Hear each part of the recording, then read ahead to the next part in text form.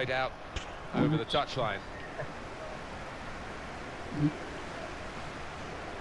David. Oh, lovely touch. Yes! Oh! I cannot believe he took that on Martin. It stunned me and it certainly stunned the keeper. What We're finish. saying over and over again.